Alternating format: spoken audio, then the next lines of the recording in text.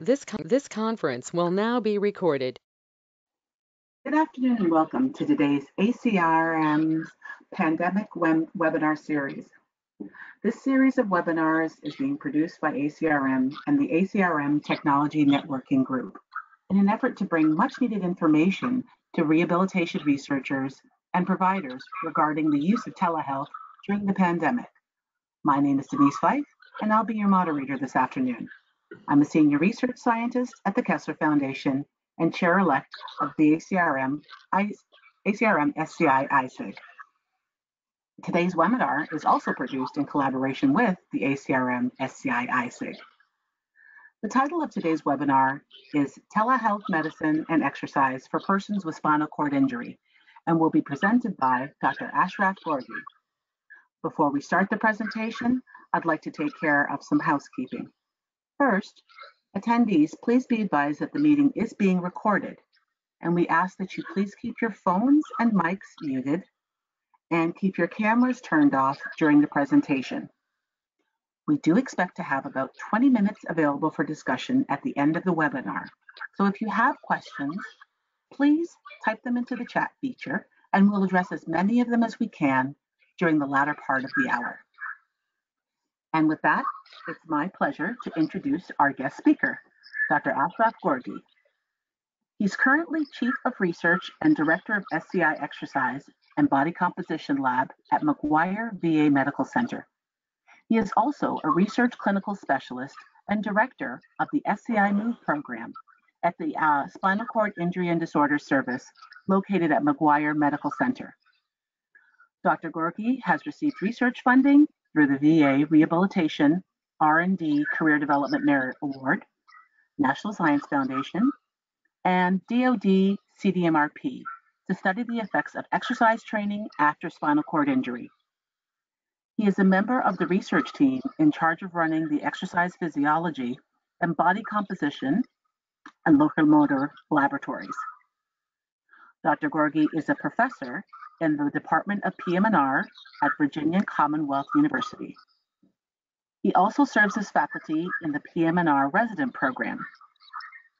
He is also an American Physical Therapy Association clinical instructor since 2009, fellow of the American College of Sports Medicine since 2010, and fellow of ACRM since 2018.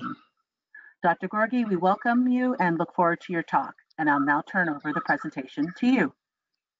Okay, well, uh, thank you so much, Denise, uh, and thanks to ACRM and thanks to uh, the pandemic webinar series uh, for giving me this uh, honorable and great opportunity to, to, be among you today. And hopefully uh, my presentation at the end of the event will shed the light on how to deliver an effective exercise program um, to uh, persons uh, with a spinal cord injury uh, using our telehealth uh, communication uh, technology as well as our uh, virtual care program. Um, and my goal and my mission um, as a research scientist at the VA uh, is to be able eventually one day to transfer this uh, excellent technology uh, to the spinal cord injury model system uh, to provide opportunities for others uh, who do not have access, especially those who live in rural areas or uh, live in third world country, to be able to have access to exercise program, effective exercise program, considering all the barriers uh, that we have encountered through uh, over our careers in how to deliver uh, a consistent and sustainable exercise program. Um, have have I mentioned this? Okay, I mean, I have a hard time advancing my presentation here. Oh, so so um, just uh, um, a few, uh, just uh, referring to our ACRM conference um, uh, Uh, this year in Atlanta, Georgia, and uh, this year we will have the conference uh, both delivered in in-person meeting or uh, virtual. And since we are uh, presenting about virtual care or telehealth medicine, I just sought to highlight this uh, in my presentation. Also, I would like um, uh, to say thank you one more time to the uh, ACR Pandemic Webinar Series, uh, John and his team for uh, this great invitation and for representing uh, the ACRM um, community in this presentation and eventually um, I'm looking for more collaboration with them in the future. Um, um, this is just a disclosure statement. Um, I'm currently the chair of the FES uh, task force, FES and technology task force. Um, that's uh, hosted in a platform by uh, ACRM, American Congress of Rehab Medicine. Uh, also, my current research is being funded uh, by Department of Defense and uh, VA program, either merit or aspire programs. Um, and uh, this is my email address. If you feel like you have any things uh, are unclear at the end of the presentation, I would be more than happy.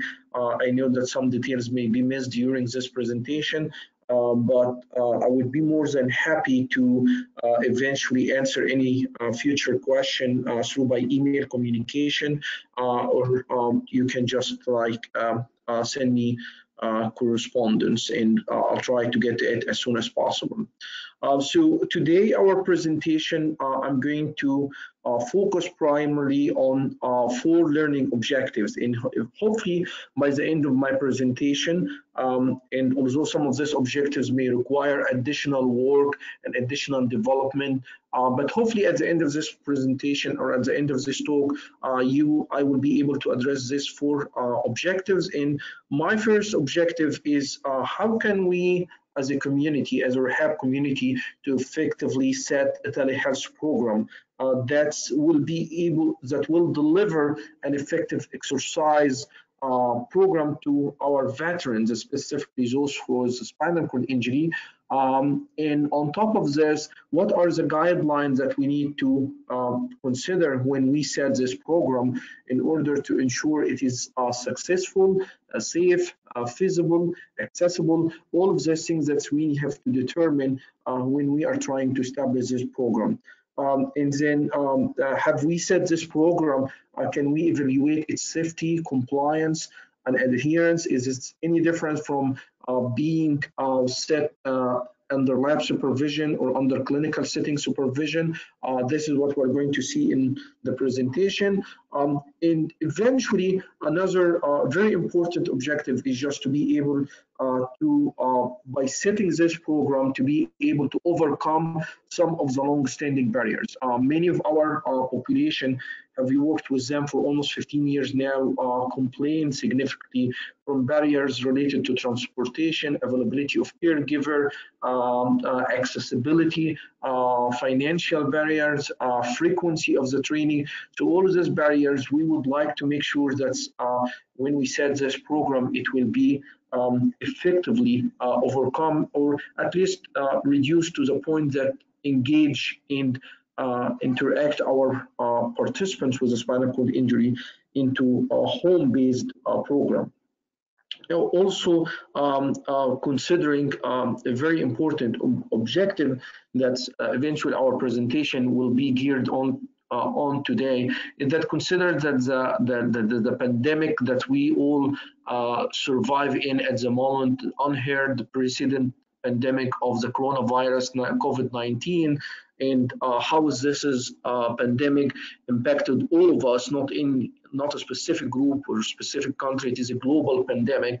Um, how can we ensure uh, that our population, uh, despite of this pandemic, are still have access uh, to uh, an exercise program through virtual communication, and how can we interactively modify and change this program as we move on with our um, uh, participant with a spinal cord injury. Um, so uh, have I talked about this? I would like uh, just for the sake for those who uh, do not clearly know much about our research. Um, our research have evolved and progressed over uh, the years, uh, starting working in the field of spinal cord injury, specifically after I graduated from University of Georgia in 2005 by uh, by joining uh, the medical uh, center at University of, of Michigan, who will be primarily at this point trying to understand cardiometabolic consequences um, in person with a spinal cord injury. So, so our focus initially was to understand um, how the changes in body composition um, and you can just underline number of factors or number of outlines in this uh, term body composition, visceral fat, muscle cross-section area, uh, percent fat, regional fat mass, how these changes are likely to contribute to uh, cardiometabolic disorders. And uh, one of the uh, general things that our lab has entirely focused on, on sarcopenic uh, obesity and the link between uh, muscle mass and basal metabolic rate and how muscle mass when uh, gets um, experience severe atrophy uh, as a result of spinal cord injury, how this is impact basal metabolic rate. And we spent uh, enormous amount of time studying basal metabolic rate and how likely this through number of factors, including exercise, wellness, uh, dietary components intervention are likely uh, to influence those with a spinal cord injury. Um, uh, another thing that we have uh, geared on uh, is just like how how can we reverse this process uh, by introducing different exercise intervention, neuromuscular electrical stimulation or functional electrostimulation and most recently in the last four or five years we have been focusing on uh, combining neuromuscular electrical stimulation and exoskeleton training. Uh, but uh, but now we are in the last two three years now we start to uh, move ahead and start to implement technology of exoskeleton uh, training with epidural stimulation uh, in veterans with spinal cord injury and we were very fortunate that our clinical trial was funded from Department of Defense, and we are going to be implanting 20 uh, veterans uh, in the next four or five years uh, with the idea that uh, can improve uh, health and wellness uh, in veterans uh, with a spinal cord injury. So this is just uh, briefly to give you an idea my background and what was I've been doing over the last 15 years in the field of spinal cord injury specifically. Um, so uh, I'm, I'm, I'm, I'm, actually going to start with this slide and uh, and many of you may uh, may question why I'm presenting this slide, but just to tell you that uh, why why do we need to exercise persons with spinal cord injury? Why? Um, because if you don't try, if you don't understand why exercising, why we need to keep them active, then uh, you will be wondering what is uh, what is the basic. And we have developed a number of research um, uh, articles and uh, peer review uh, publication to address the same question because this is very important question and unless you have the, a clear answer on this to start with everything will become vague uh, to continue. So um, when we look at the population with spinal cord injury and compared to the general population you can see that adults with a spinal cord injury two out of three uh, persons with a spinal cord injury are at risk of developing obesity.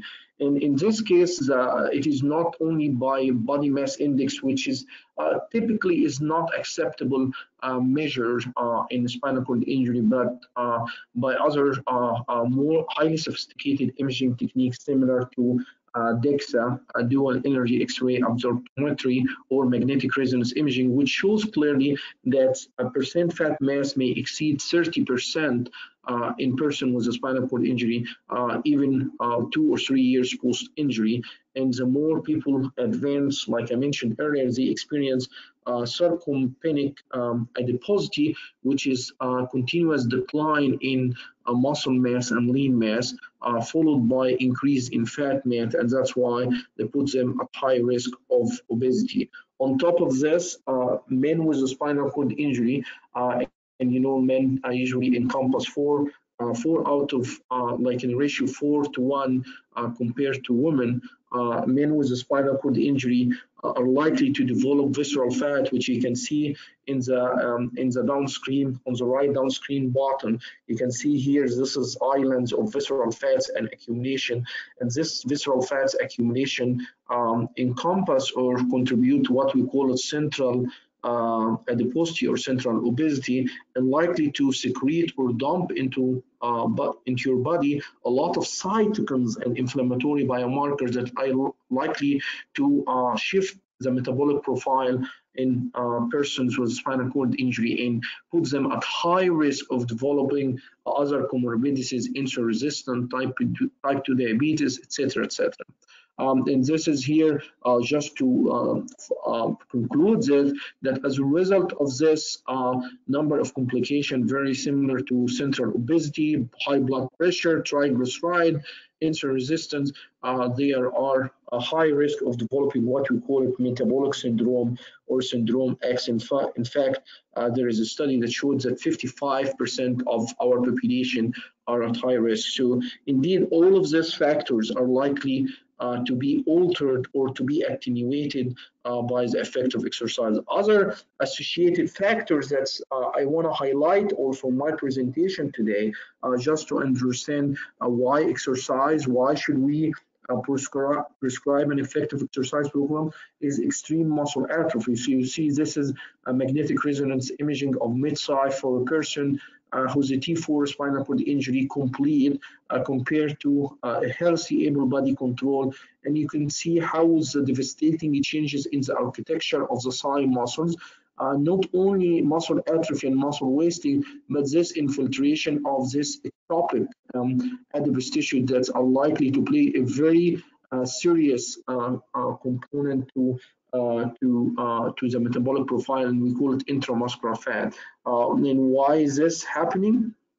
because on top of this uh, we have seen and we started to see in the last few years five years and from ours there is what we call it mitochondrial dysfunction uh, this mitochondrial dysfunction uh, we have measured and seen it and it turns out that is not only contributing uh, to metabolic dysfunction, but also may contribute to the changes that we see on uh, muscle size or muscle uh, changes in spinal cord injury as well to the body composition uh, that we observe in spinal cord injury. We will continue to do more research in this area because we see, we, we see that there is uh, a remarkable or a noticeable link between mitochondria and uh, on top of this, which is I need to highlight quickly so I don't distract from the main purpose of the presentation, that there is a big autonomic dysfunction component specifically for those who are T6 and above.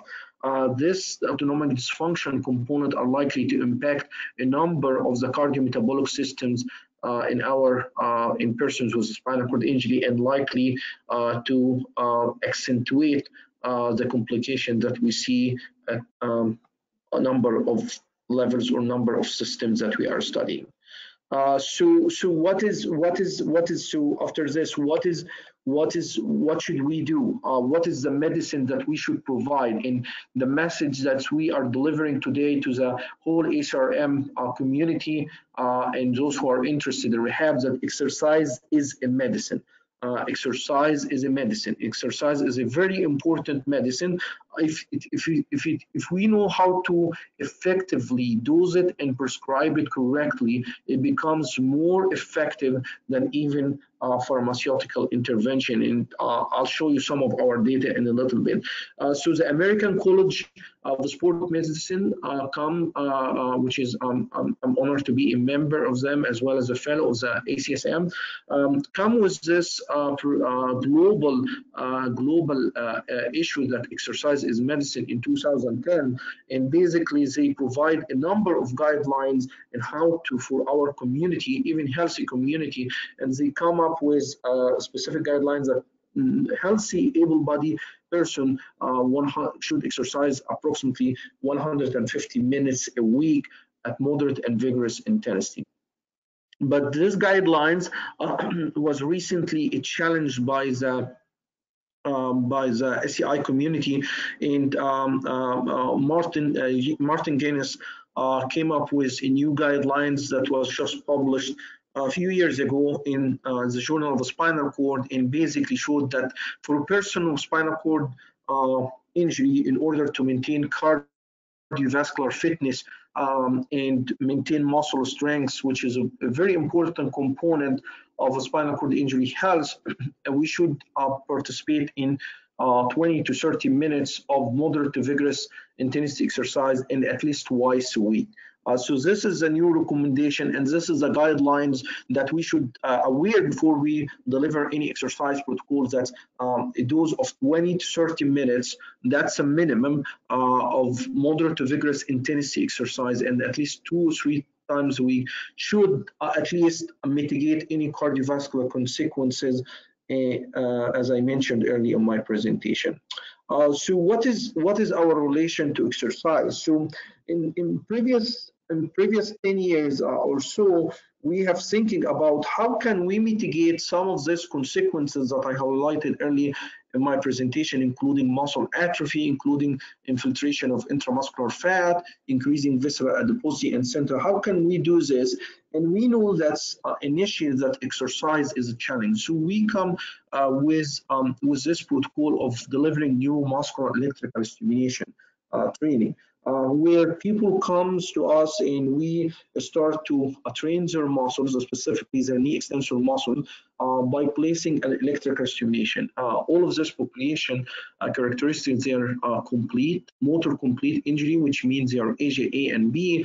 And if you are interested to know this, this would be a different topic, but um, they have no volition per se, just to make it simple, they have no volitional or motor control below the level of injury. So they are motor, uh, they are paralyzed on the motor sides. Uh, they may have some uh, sensation left. Um, and we have done a number of studies uh, that we showed that by evoking muscle hypertrophy, um, in the legs using electrical stimulation and standard ankle weights.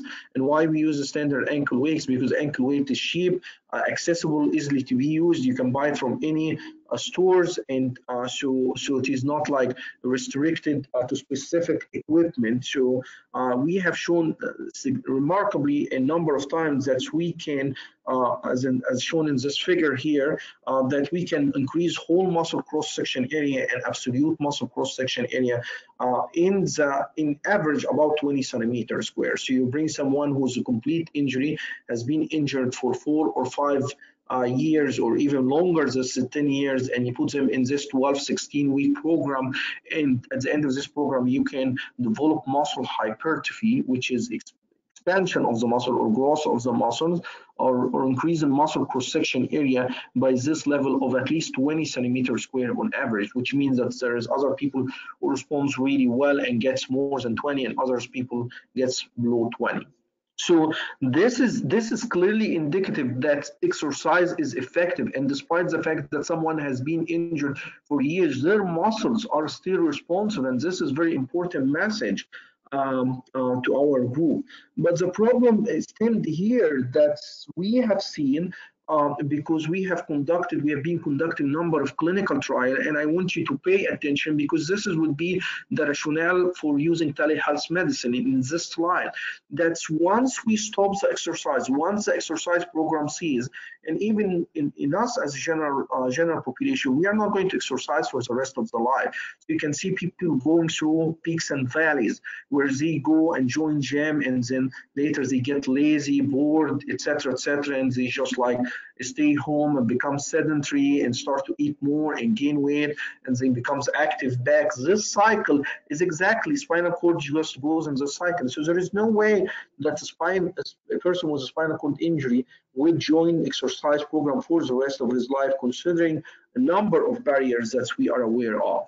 So what happened when we stop exercise? So if you look here on this slide here, it's shown by using DEXA, when people exercise and then two years later they come and you find that their percent fat mass, even their trunk, legs, and arms is still to show increase uh, will compare when uh, they stop the exercise.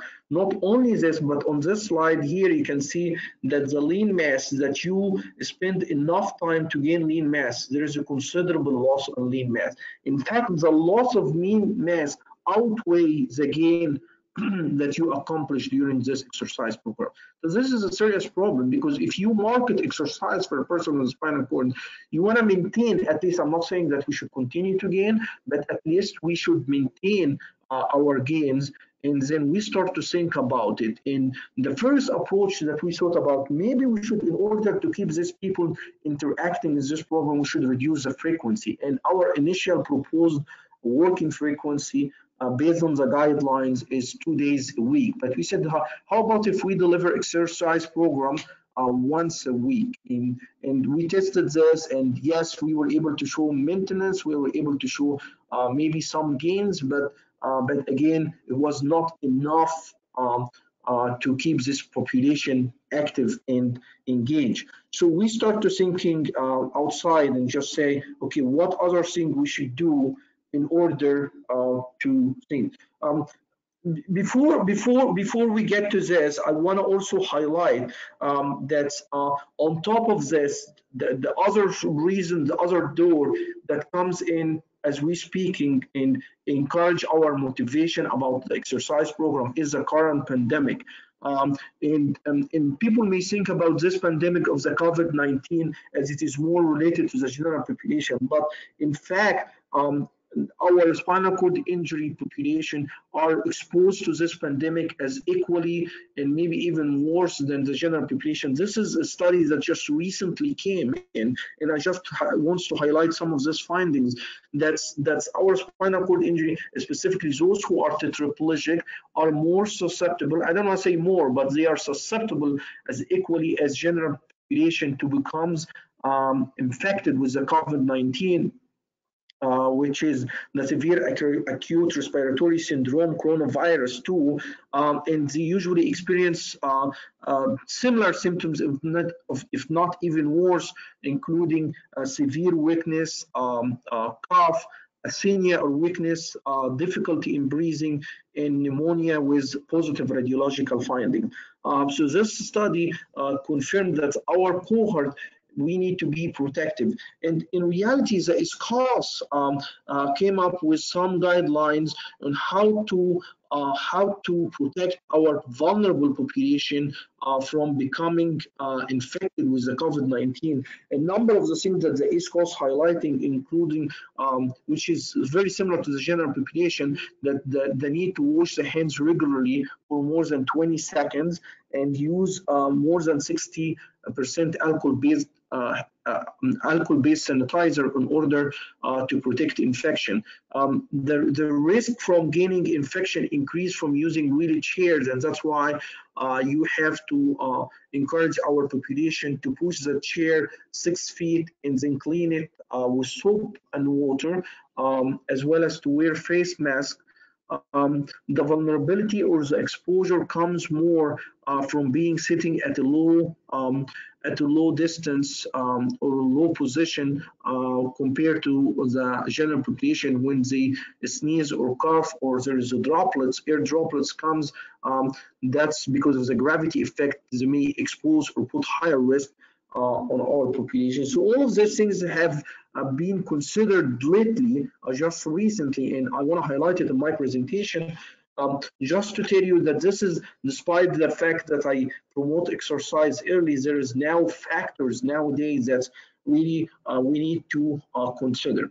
So, so, so I'm I'm going now to switch gear to um, how deliver how to deliver effective exercise program using the virtual care. And i'm here um, to tell you more about our va model system of delivering effective exercise program uh, using the virtual care or uh, the telehealth uh, communication. Um, and the mission uh, of this program has been developed is to transfer uh, how veteran uh, have access to high quality care. Um, and this is uh, through interacting with their provider on a daily basis. I want you to understand that virtual care is a two-way communication. It is not only one-way communication. So it is not only a provider access their patient, it has to be um, effective virtual care or effective telehealth care need to be a two-way communication between the provider and between and between uh, their uh, patients.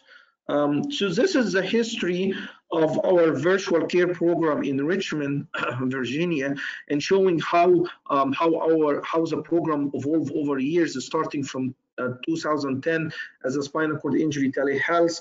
And um, I can tell you here in this slide here that's uh, our uh, exercise program, research exercise program uh, comes on board in 2015, uh, which is unfortunately not highlighted here. Uh, but this is the progress of our program uh, from 2010 until uh, 2019. And you can see today when I'm explaining in the next few slides what is the virtual care um, or what is the telehealth program in Richmond has evolved to you will see a number of services that's being delivered by, by our virtual uh, care. So this is just to show, to tell you about the SCI community before and after our program. So the veteran here is the center of attention, um, the spinal cord injury provider, hub and the spinal cord injury spoke and the spoke personnel. And you can see all of this was disjointed uh, before, but thanks to the uh, virtual care program and the telehealth that brings all this together. And in Richmond, I want to mention something so you can understand better understand the slide. Richmond is, is considered one of the spinal cord injury hub in the southeast um, southeast of the United States. Um, and uh, Richmond covers 13 spokes, 13 other spokes, and this 13 other spokes communicate directly since uh, in medical in Richmond Medical Center we have the expertise, spinal cord injury expertise, either by uh, physician, nursing, therapist, and uh, etc. Uh, so this expertise provide us with continuous integrative communication with the spokes in order to ensure that they are effectively getting the care, especially those who uh, lives away like West Virginia, Kentucky, uh, Salem, North Carolina. All of this are delivered or benefit from this virtual care program. Um, so this is what's uh, provided by, and this is just like a representation to show you what I just talked about. This is the Richmond here, uh, which is the center of care, and this is are the 13 spokes that's uh, being um, highlighted uh, in my presentation. This is 13 spokes are likely to all integrated continuously, and that's why we call it integrative uh, care with Richmond through the telehealth communication program. A very important uh, point before I deliver uh, the exercise component of my talk that in 2019 over 900,000 veterans uh, received VA telehealth and uh, and now it becomes a nationwide uh, mission a nationwide policy that um, veterans can receive their telehealth care anywhere in the United States regardless boundaries and uh, borders and uh, because of the telehealth technology. Um, so the telehealth technology on top of being uh, very prominent and recognized activity by the, it, it facilitated a number of other service and uh, some of these are the clinical video telehealth, uh, home video, uh, secure messaging, which is very, was very, very um, out and uh, were very well received by our veteran because it facilitated one-on-one -on -one communication with their provider, immediate communication and immediate response um, e-education. Uh, so now veterans do not have to travel to take specific classes. They only can be delivered uh, in a very interacting, uh, very uh, effective format, like I'm going to show you in the next slide, on how to protect themselves and how um, wearable technology and now so they don't have to they have they don't have to travel commute or go to a local uh, physicians they can all have access to wearable technology um, and this uh, wearable technology have sensors that can deliver information very similar to heart rate monitors uh, blood pressure uh, and glucose uh, units that measure blood sugar and uh, provide all this into uh, a digital format into the system where um, uh, the provider on the other side will have access to this information on a daily basis and they can provide immediate feedback uh, to the to the veteran. Uh, other things like absent administrative. Two of the most important programs that uh, I've seen and I've noticed in our uh, VA system is uh, a wheelchair program, and uh, it is indeed one of the most successful programs who are surfaced. And um, I just uh, want to give kudos to our therapists at the VA because they are doing an outstanding job prescribing wheelchair to our um, veterans and how successful they are doing this um, distant uh, from distance and uh, prescribing cushions and uh, doing and eventually uh, when they have access to the veteran on top of this they do what we call a pressure mapping. But uh, the program was uh, um, um, successful in troubleshooting problems that may arise with wheelchairs as far as positioning as far as trying to make some easy correction until they have physical interaction with their provider Another program which is uh, really uh, well highlighted in our uh, VA uh, community is the pressure ulcer program. And the pressure ulcer program uh, provide really very excellent resources to our veteran uh, to provide educational tips on how to prevent um, um, pressure injury um, and um, and how to reduce shear during motion. what are the main risk factors that are likely to to contribute to skin breakdown? Uh, what are the points of contact that uh, um, the veterans need to be aware uh, because it may uh, be exposed to extreme pressure, especially for those with high level of injury and are likely to contribute to this pressure injury. So uh, that's what we will refer to as, as e-education using the telehealth communication. Um, so our VA uh, make it very simple for provider as well as for um, uh, for veterans to provide a secure messaging, uh, secure software. It is called the Virtual Care Manager software. And compared to what we started on uh, using the Cisco software, uh, which was like six or seven years ago, now the Virtual Care Manager is much easier because all what you need uh, to schedule uh, a safe and um, consistent reliable appointment with your veteran is just an email.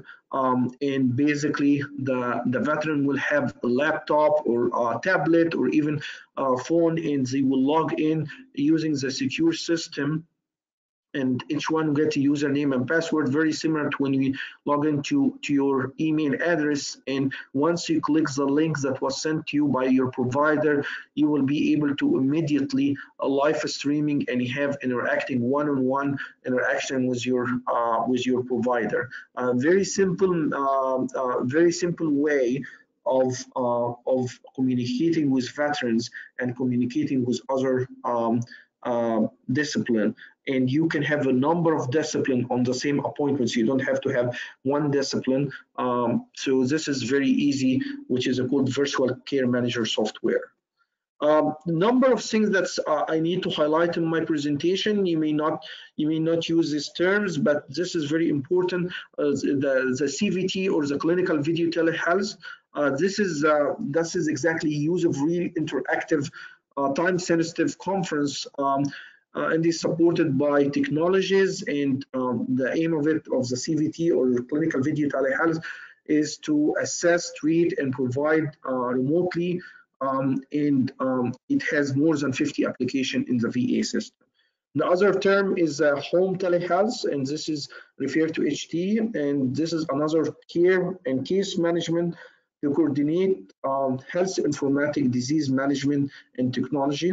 And the goal of HT of home uh, telehealth is to improve clinical outcome and access of care um, to our veterans. Uh, so, so now, like I'll go back considering uh, this uh, introduce uh, um, the, the, the program, I'll go back and just to start to think, okay, how can we deliver an effective exercise program? And one of the complication or one of the problems or downside of delivering an exercise program in the VA setting is just once you seize or any in any exercise, once you seize or stop, I showed you what happened. Uh, so this is one of our uh, first trials that we published in 2017, and it is more like a feasibility trial uh, in order to demonstrate can we uh, can we take what we have learned in lab setting and provide our veterans with the equipment necessary to conduct uh, an effective home exercise program.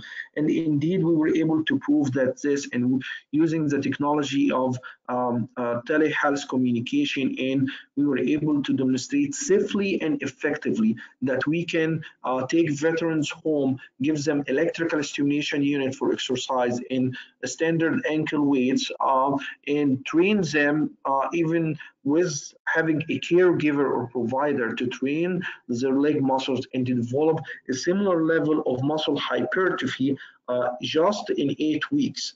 Um, and then we took this information and um, and here is some of the data. Um, and basically because this is a feasibility study so we train one leg and we kept the other leg um, untrained. So we call the untrained legs the control so you can see clearly the trained leg here uh, demonstrated uh, by MRI technology significant hypertrophy uh, compared to the baseline uh, and same here significant hypertrophy compared to the baseline. So indeed we were able to demonstrate that in a home-based setting uh, using telehealth communication uh, in, in a very accessible setting to the veteran and to the patient, they were able to use with training and coaching um, the exercise equipment that we utilize in lab setting uh, in a very effective way to promote a health and wellness and consistent basis. Um, so we expand on this uh, and we developed this to a more uh, home-based intervention for 12 months. So we took this pilot work and we apply for funding and actually it was funded where we were able to demonstrate uh, and we are currently demonstrating that um, in veterans who are uh, having something called cauda equina or denervation we can send them home and we can train them and for the sake of time this is a video um, but I'm not going to play the video showing that uh, that even those with Cauda equina, we can send them home and we can monitor them for 12 months, which is even greater. So now we went from eight weeks, which is only two months, to 12 months, which is uh, uh, 10 more months longer in duration. And this is a very effective program um, in uh, in getting the veteran to comply and to adhere uh, to this longitudinal intervention uh, for a long period of time. Similar things we have done uh, studies where we have uh, sent people to uh, home with FES cycling. Um, the VA delivers the FES cycle to people's home, and here we just like showing here demonstrating coaching uh, this population uh, before we send them home with their FES uh, for the same reason that we can in, enhance and improve the quality of care and we don't have to have the restriction uh, and the barriers of, of, commuting back and forth to the lab setting. Uh, what benefits what benefits does this what benefit does this bring to our veteran of using virtual care in exercise uh, it definitely ensures it is safe feasible uh, there is a significant real-time interaction between us and the veteran um, despite the level of injury and we can talk about this in a little bit uh, participant had 100% compliance most of the studies exercise trials you can see 85% maybe the best one is 90% but we were able to demonstrate that the participant had 100% compliance. Uh, definitely, we showed that this is cost reducing approach. It reduced travel time, uh, it reduced caregiver time, and it reduced gas costs. So uh, it's very beneficial uh, to the government because uh, you don't have to pay for travel time and you don't have to pay for uh, gas. Um, besides, it reduces uh, vulnerability of people getting injured during transfer, etc., etc. Using their home settings, they are feel uh, familiar, they are not claustrophobic, they are not dizzy uh, from traveling long distance, all other benefit. Um, uh, the major barriers of exercise and wellness very similar to the frequency of exercise, duration of exercise, uh, accessibility to exercise equipment. All of this has been successfully overcome by um, by by by providing a secure and safe uh, way to uh, to train the patient as well as his or her caregiver uh, to exercise at home um, and using this interactive and integrating uh, and real-time approach uh, without having uh, any knock on the wood, any side effects or any complication um, up till this point. Um, So, um, so, so, so uh, other benefits may include in enhancing aerobic capacity and reducing pain um, in conjunction to use of uh, virtual video gaming. That's where we are heading in the next, uh, where we can take our exercise program and and put it in a very interactive format, for a man so people can uh, use it as if you're cycling in a race or a marathon and uh, actively enhance their performance. Uh, so in summary and conclusion to my presentation that uh, telehealth medicine uh, for the purpose of delivering exercise a program is feasible approach and encourage engagement and compliance in person with spinal cord injury and overcome uh, long-standing barriers and can allow trials up to 6 to 12 months and this is very important. Uh, our preliminary findings suggest that this approach uh, is very helpful in increasing some of the most uh, um, most desirable parameters similar to muscle mass and decrease um, uh, adipose tissue infiltration, very similar to what we have observed in lab setting, but um, um by by also associated by decreased travel time and other associated costs. Um, and this is very important approach and i'm going to share with you one thing that despite of our current the current pandemic where most of our research programs have shut down um, um, thanks to the telehealth communication because it allows us continuing our research program and continue interacting with our veterans and our population, uh, encouraging the, the social distance uh, point and safety of our program. So this is likely if this is pandemic is going to continue, uh, I would encourage many of the rehab specialists to to consider including telehealth uh, to their protocol because this is ensure uh, a safe environment and um, a safe um, uh, a safe safe setting for a veteran from uh, getting infected. Uh, and uh, also it will ensure that uninterruption of the uh, physical activity program during this pandemic. There is a number of folks that I would like to acknowledge, Melody Anderson and Dr. Castillo, who are running the telehealth medicine program, who runs the telehealth um, medical program in our facility at the McGuire VA Hospital. Also, I would like uh, to uh, thank Linda Drosty. Uh, she will provide some of the educational tips about the pressure, also pressure injury program in our facility. Uh, finally, I would like to thank all of our research team and external research team who, uh, without their help, I couldn't have uh, this important information for you today. And thank you to ACRM and thank you to all. And looking forward to any questions. Thank you. Thank you, Dr. Gorgey, for a wonderful presentation this afternoon. Uh, now we're going to uh, begin our question and answering session for the last few minutes.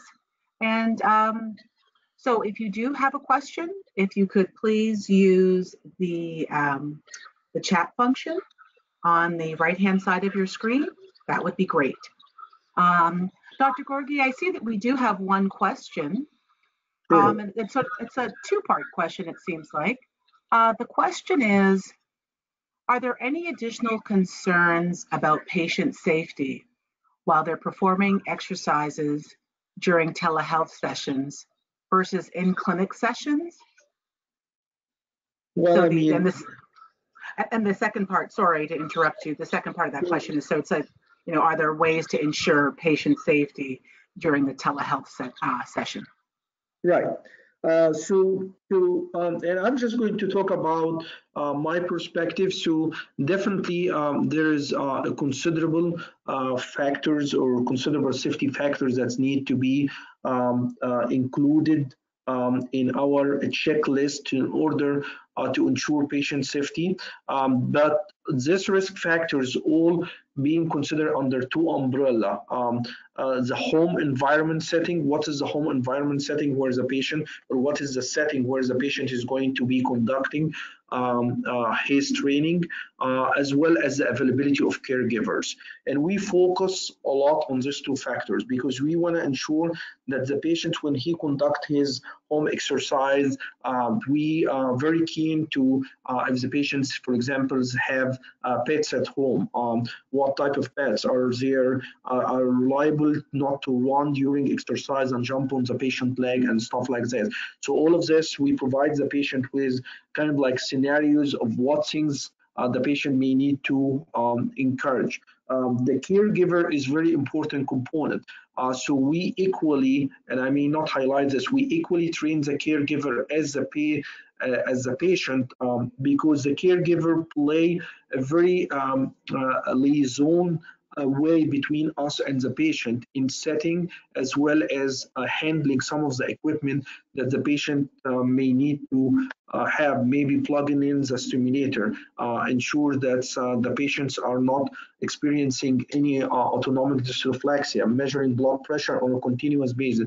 So we spend a considerable, before we send anyone home, we provide the patient with considerable, um, maybe two or three times training with the patient. But the good news that I want to share also that yes, there is a considerable risk factors that's or safety factors that we have to highlight.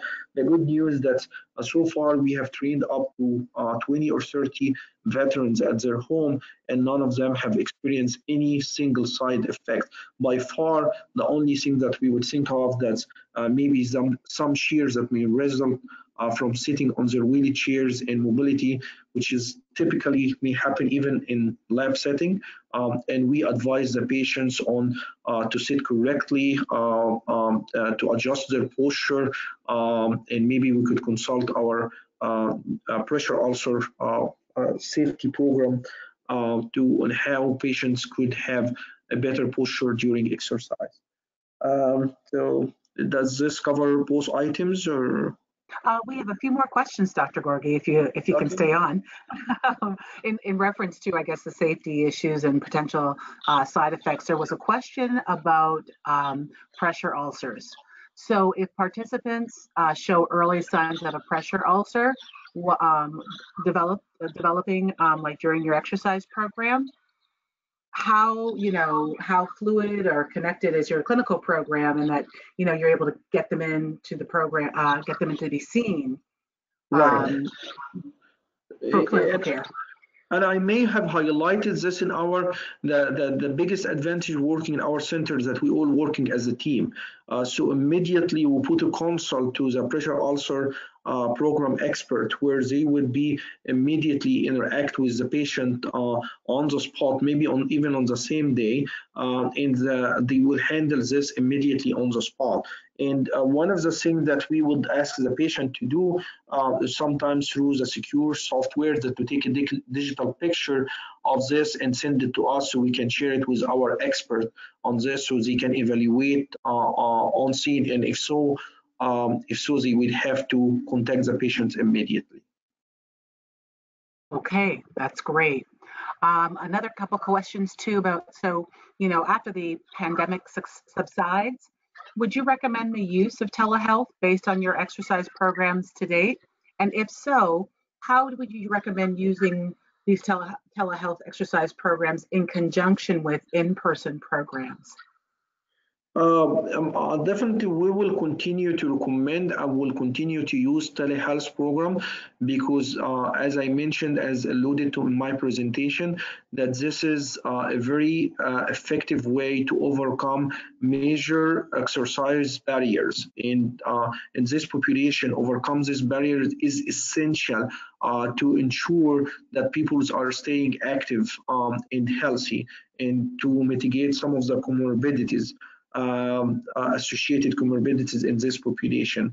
Um, how I'm going to do this, and that's actually is a great question, um, and I think that's um, um, um, uh, a program that's uh, focused primarily on, on starting with in-lab uh, supervision uh, to ensure that the patient has delivered the appropriate technique and the way of uh, exercise, then send them home after a few weeks will be our approach that we can engage the patients under supervision and lab training initially, and then later on we send them home for the remaining period of the exercise program for home use. That's how I would approach it after okay. this. Okay, that's great. Um, another question we have, uh, what additional support or technology have you used during the pandemic? Yeah, I mean, um, like I mentioned, there is a number of uh, um, a number of things that we have highlighted in my presentation, including the use uh, of uh, e-education and using the the uh, virtual uh, virtual e-messaging uh, I think that this is uh, one of the biggest things that's uh, uh providing us to access. Uh, it doesn't necessarily that we have used it in person, but apparently one of the things that we are hearing that the patient like it the most is a secure messaging system uh, because it provides direct access to their provider and within 24 and 24 hours they get feedback or answer to their questions. Excellent. Last question that we have listed, Dr. Gorgey, uh, is tele is tele-rehab funded either publicly or privately uh, in the United States? Well, I mean, yeah, I mean, I think I think um, like I will speak about our uh, our um, our situation uh, because we are funded from the VA program central office uh, to conduct a number of telehealth exercise program. And it sounds that the VA um, as uh, a basic uh, entity of uh, delivering care to our veterans in United States are very interesting in, in, in, in imposing that this is the future of uh, the future of delivering care to veterans and eventually this model will be adopted uh, for civilians as well. Um, although we have not have done enough studies, but uh, the preliminary evidence um, as a result of this funded trials ensure it is successful, effective, um, and uh, technology will continue to improve, especially uh, with uh, with the availability of artificial intelligence and uh, IT systems and IT uh, uh, developers, uh, we will uh, continue to ensure have successful, uh, secure virtual care software and systems that ensure that our veterans are safe and having the same HIPAA regulation like in standard of care. Thank you, Dr. Gorgey. And to our attendees, I want to thank everyone who was uh, able to listen and uh, enjoy the, uh, the, the webinar this afternoon. Please be advised that all recordings will be available in the next 24 hours. And we recommend that you share this webinar with your colleagues, as well as the series that's made available on the ACRM webpage. This concludes, as we come to the top of the hour, this concludes our webinar for today. We want to just remind you to be, be safe and stay healthy, everyone, and hope that you're able to join us for our next ACRM webinar for the pandemic, during the pandemic. Thank you.